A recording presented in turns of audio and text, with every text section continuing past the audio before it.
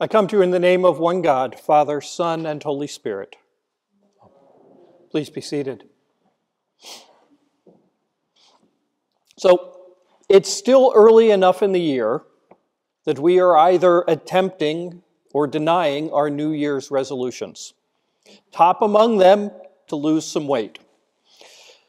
And whatever the motivation for this effort, most of us are familiar with the weight loss lament. We have either witnessed it or been guilty of it. You know how it goes.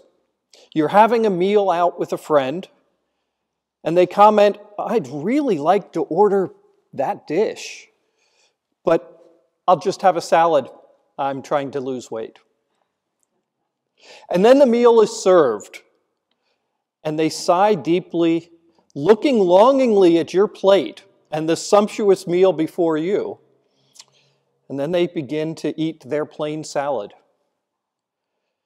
And at dessert, when your cheesecake is served, they talk about all the wonderful cheesecakes they've had in the past and then say how happy they are with this glass of triple filtered water.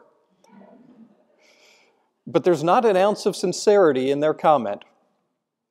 The weight loss lament can haunt us as long as we see the sacrifice and miss seeing the light.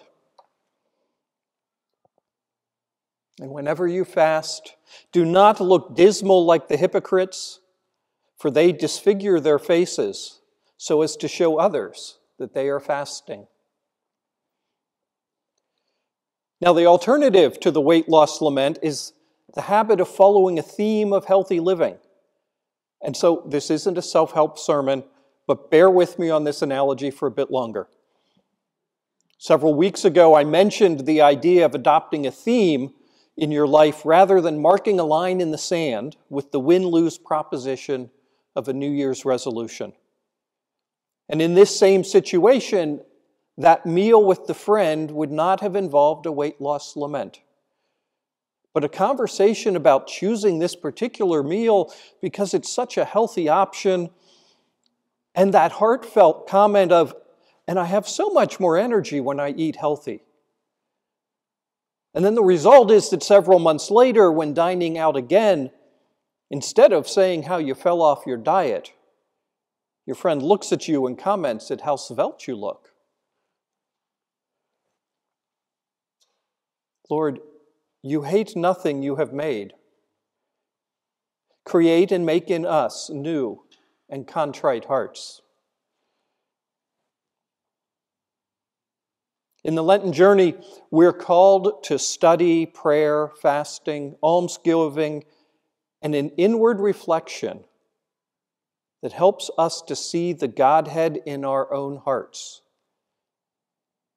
Lent is a gift of time for this journey of reflection. Lent is traditionally a time that we sacrifice, that we give up something we enjoy. And for this to truly be effective, first we must give up the notion that God is to be feared in the negative sense rather than looked upon with a sense of awe. And we must give up the view that Lent is focused on self punishment and degradation rather than a time to reorient ourselves to God And we need to give up the view that God is anything but love.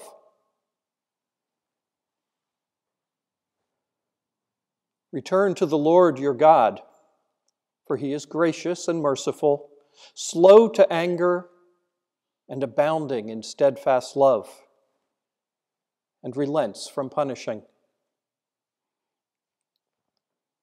John O'Donohue writes, we live between the act of awakening and the act of surrender.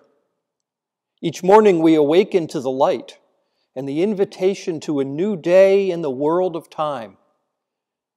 Each night we surrender to the dark to be taken to play in a world of dreams where time is no more. At birth we are awakened and emerged to become visible in the world at death, we will surrender again to the dark and become invisible. Awakening and surrender, they frame each day and each life. Between them, the journey where anything can happen. Lent is our gift of time to look at our own awakening and surrender, our beginning and our end.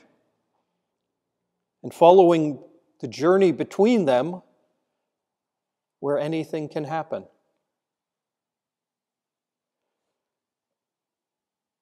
Creator God, we lift our hearts to you because you made the universe from nothing and formed human beings in your image from the dust of the earth. With God's hands, we were formed in God's own image. That is our awakening, that's our beginning, formed from the dust.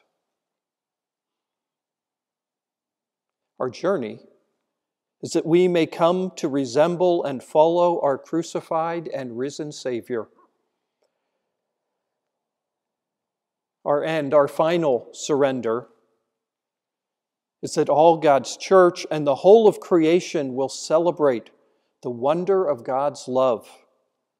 The day when every eye shall see God and every tongue shall praise God. Lent is a gift of time, 40 days, so that we may look to see this wonder in our lives. Amen.